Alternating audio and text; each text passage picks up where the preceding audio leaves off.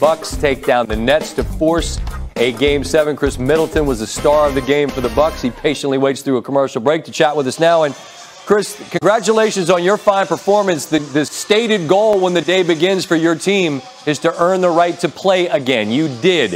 If there's one thing you point to and say that's the reason why, what was it? I think just being solid. We are solid all night, contested every shot. You know, try not to foul too much. Uh, just make it tough on Kevin Durant um, and, and James Harden. We were able to do that tonight. You cannot fake desperation in life you, or in sports or anything else. And, and, your team had to win or the season ends. It changes Saturday because now the Nets are in the same boat. They, they, they are in the same desperation mode where they got to win to continue. How does that change what that game will play like, if, in your estimation? Think it's going to be a lot more, uh, a lot more from these sides as far as intensity, uh, the tone. Um, like you said, both teams is just win and go home. So um, that's what Game Seven is all about. That's what you know players love about it. I'm sure the fans love it too. So um, we're excited. I'm sure they're excited too to get get to that game.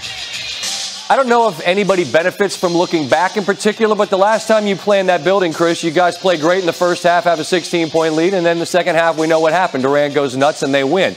It, do you benefit at all from, from comparing and what went well in the first half versus what went didn't go well in the second half, or is it just a totally different deal for, for Game Seven?